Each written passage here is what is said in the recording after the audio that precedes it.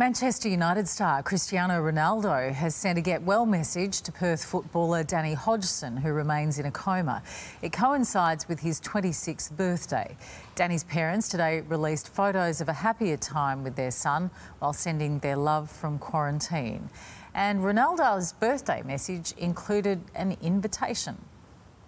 You get well soon, and I, I invite you for you to come to one of games in Manchester. So get well soon, my friend. Take care. Bye bye.